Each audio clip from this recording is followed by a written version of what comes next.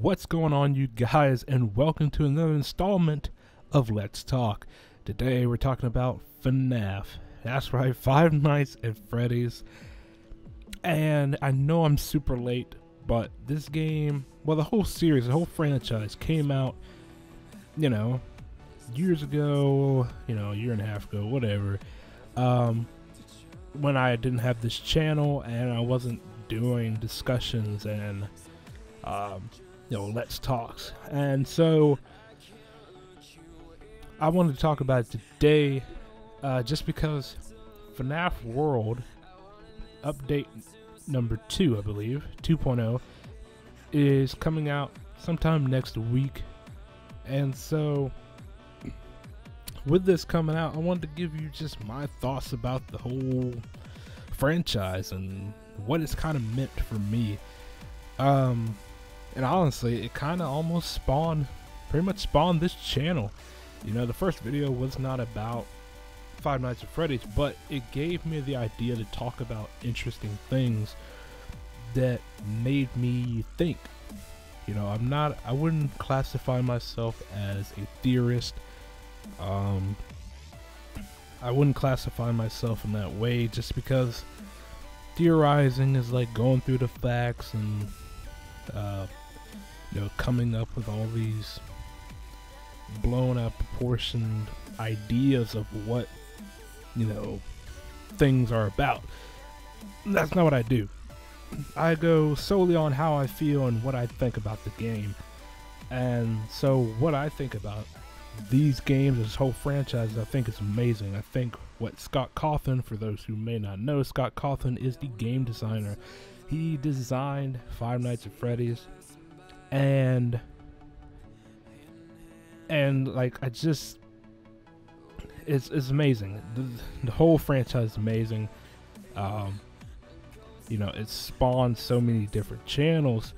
Um, you know, RazzBowski, Dawko, uh, and then it put on the map uh, the game theorist.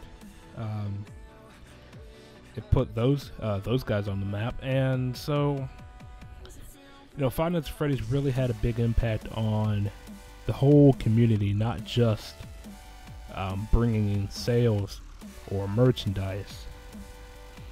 Um, and so, with all this being said, what Five Nights at Freddy's and Scott Cawthon are able to do is it's able to give people the idea that hey, just because you're on your own or you have a small team, it does not mean necessarily that you can't create something something um, amazing. You know, you get games like Emily Wants to Play, which is FNAF inspired. You get games like uh, The Boogeyman, FNAF inspi- inspired. Um, of course, you get all the FNAF uh, clone or fan games. Uh, those nights at Rachel's and one night at Flumpty's. I mean, all these amazing games and these amazing ideas, all to cultivate, all have came together because of this one franchise. And another thing that this franchise has done is it's introduced a new game mechanic because before this game there was never a game where you had to survive for a certain amount of time. Survival horror games and horror games in general has always been a sort of linear thing where you just played it through, you advanced through each chapter or um, section of the game, and then it had an end. But with this game, it in- introduced so many elements to it that it's really made game designers, as far as indie game developers and AAA game designers, really think about their next projects. Um, because subpar storylines aren't just going to cut it, because with this game's lore and its background and the story behind it, um, really spawned a new generation of people who look at games in a whole new way, including me myself. And so, you know, back and I'm back uh, backtracking here for a minute, uh, talking about the uh, game mechanics. Never has a game been where you're like sitting there and you're having to just survive and you are feeling helpless. You're sitting there. There's two doors on the side. I'm talking about, I'm referencing the very first game. Two doors on the side, and you know, some phone guy calls you, He's like, hello, hello. Uh, there's crazy shit happening. Don't worry, though. Everything will be just fine. At the end of the week, you'll get your $100 paycheck because we don't pay you at all. Apparently, you only get like $3 an hour or something. I don't know. But, like, you and then you're just you're sitting there, you're helpless. You see these animatronics moving around, uh, scaring the shit out of you. Got Foxy running down a damn wall.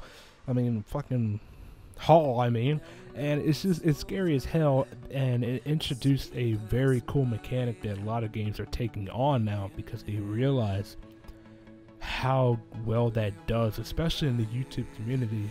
Um, you know, Markiplier and uh, PewDiePie and you know, so many other uh, Let's Players because their reactions to these certain games.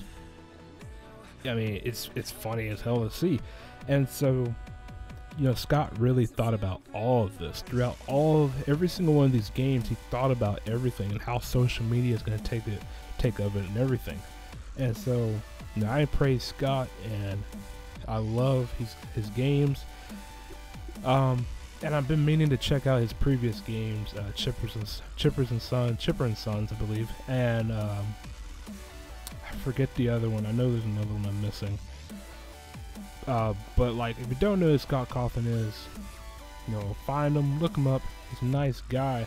I've never emailed him before, uh, just because I'm sure he's very busy, and he already gets a lot of other emails from other uh, FNAF fans and um, uh, things like that. Um, and I cannot wait for the FNAF movie. Cannot wait. Uh, I read the novel Silver Eyes. Fantastic. And um, yeah, I'm really looking forward to seeing what the future of FNAF holds. And again, this is just my thoughts. These are my thoughts and my opinions. Uh, nothing is really like fancy here in, in this video. Um, but let me know what your thoughts are about FNAF um, and about Scott Cawthon. You know, how do you feel about these games? Um, has it given you any type of impact? Uh, do you look forward to seeing more games like this in the future? And if so, let me know in the comment section below. And again, guys, if you did enjoy, you know what to do. Um, so yeah, with all that being said, hope you have a great day and take it easy.